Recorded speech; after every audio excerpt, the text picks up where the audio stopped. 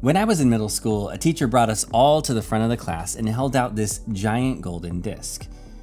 This is the future of education, he said. Someday you'll be able to pick up one of these laser discs, take it to a pod with a TV, and learn exactly what you need to learn. You won't even need teachers. This will change learning forever. Well, it did not change learning forever. And years later, I saw the same argument reemerge with the rise of the internet and search engines. We could just ask Jeeves and he'd answer our questions. Rest in peace, Jeeves. Later, it was one to one devices and then leveled reading programs for intervention, and now it's the promise of personalized learning with generative AI. Students will sit in front of a computer with an AI tutor and receive the exact instruction they need without the guidance of a teacher. But this isn't actually personalized learning. This is adaptive learning. Here's the difference. Adaptive learning is algorithm driven. Students progress through preset curriculum and the AI makes adjustments to the skill levels of the students as they get answers correct or incorrect. However, personalized learning is human driven. While it might include technology, the core idea is the person.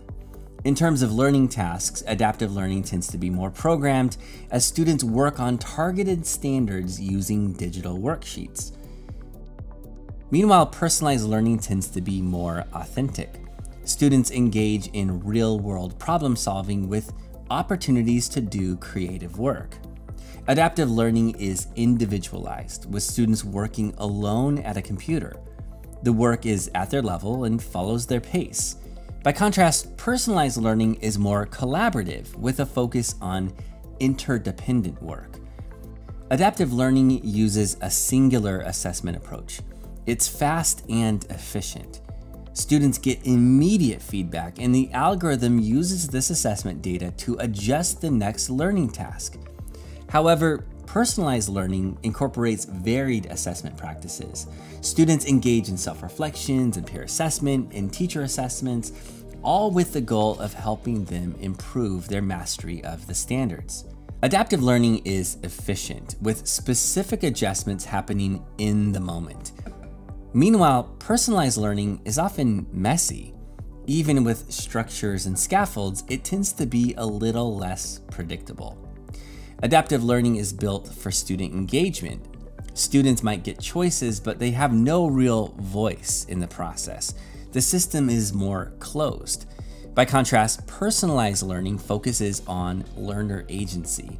It moves beyond engagement into empowerment. Instead of simply making decisions, students actually forge their own path and they own the process. Now, both approaches have their place. Adaptive learning can work great for quick, efficient skill practice, but personalized learning works better with bigger concepts, larger projects, and applied learning. Moreover, both approaches can make use of AI. In adaptive learning, AI fuels the learning process, but in personalized learning, AI informs the process. In other words, personalized learning remains at its core human driven. In personalized learning, students might use a chatbot to answer specific questions as they engage in inquiry and research. Small groups might use AI to get feedback on their work. Teachers might use generative AI to help develop rubrics or create leveled readers of various topics.